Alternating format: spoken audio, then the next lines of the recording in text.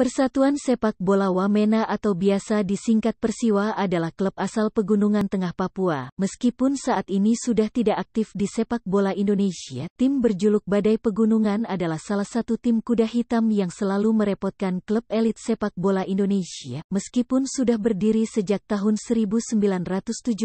nama Persiwa baru didengar pencinta sepak bola Indonesia pada tahun 2004 ketika tim Persiwa promosi ke Divisi Utama Liga Indonesia 2000 2005, Persiwa memiliki suatu kelebihan yaitu letak geografis yang berada di ketinggian 3.500 meter di atas permukaan laut, sehingga tim ini selalu meraih hasil maksimal ketika bermain di kandang mereka di Stadion Pendidikan yang sering disebut lapasnya Indonesia. Prestasi tertinggi tim Persiwa adalah juara kedua Divisi 1 2004 dan juara kedua Indonesia Superliga 2008, dengan pemain-pemain bintang antara lain adalah Peter Rumaropen yang merupakan produk asli asli binaan Persiwa sejak dipromosikan pada tahun 2003 Peter selalu menjadi pilihan utama dan merupakan pemain paling setia bersama Persiwa yang berikut Bokai Edi Fodai adalah salah satu penyerang terbaik Persiwa pemain bertubuh jangkung ini cukup tajam selama memperkuat Persiwa. Berbekal postur tubuh yang tinggi Edi selalu pasti memenangkan duel bola udara. Selain kedua nama di atas masih ada nama-nama lain seperti Bek Yesaya Desnam, penyerang sayap Habel Satya, Eric Wicks Lewis